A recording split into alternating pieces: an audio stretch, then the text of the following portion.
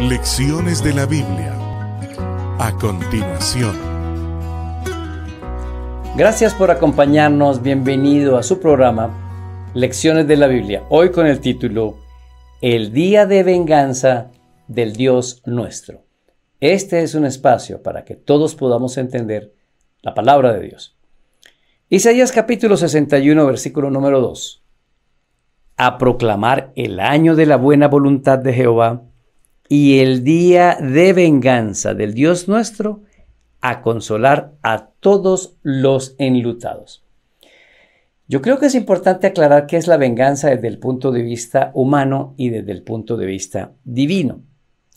Cuando Jesús se levanta en Lucas 4 a leer en la sinagoga este texto de Isaías 61, omitió esa parte. Él no dijo, he venido a cumplir con el día de la venganza. ¿Por qué no lo dijo si está en Isaías? Porque en la Biblia todo tiene su tiempo. Voy a ponerles un ejemplo.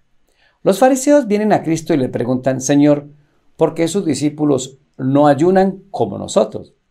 Y Jesús le dice, ¿para qué van a ayunar? En este momento el esposo está con ellos y están de fiesta. El día que el esposo les falte, van a ayunar. Lo que Cristo estaba diciendo, y por eso omite esa frasecita, es porque dice, yo ya vine.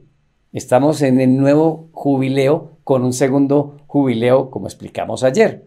Si yo estoy con ellos, ¿para qué hablar del día de la venganza? ¿Para qué hablar del día del ajuste de cuentas? Están conmigo, que se lo disfruten. Cuando Dios vino a Israel para ser el Mesías, vino a darle plena felicidad, no solamente a ellos, sino a todos. Por eso su presencia es el gozo de tener a Cristo. Ahora, hablemos de por qué Isaías lo colocó ahí.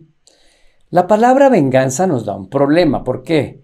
Porque yo pienso, cuando digo la ira de Dios, o la venganza de Dios, o el gran día terrible del Señor, que todo se refiere a la segunda venida de Cristo, pues yo pienso en la justicia humana o en la venganza desde el punto de vista humano. ¿Y qué la venganza humana? Pues es un odio terrible para ajustar las cuentas. Pero es que Dios no es así. Esta es una palabra que se llama un homomorfismo.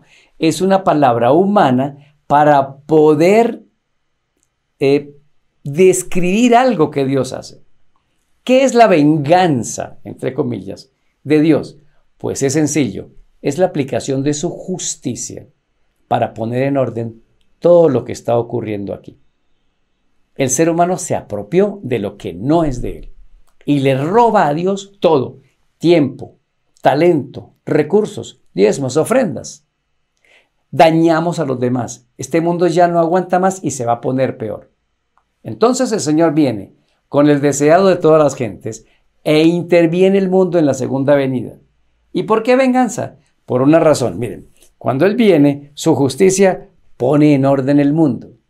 Destruye al pecado. Él no quiere destruir al pecador. Él quiere destruir al enemigo de Dios, al diablo, quitarlo de aquí. Él no está en contra nuestra, está en contra de las malas acciones y de las malas decisiones. Esa actuación de justicia de Dios es lo que la Biblia llama el día de la venganza.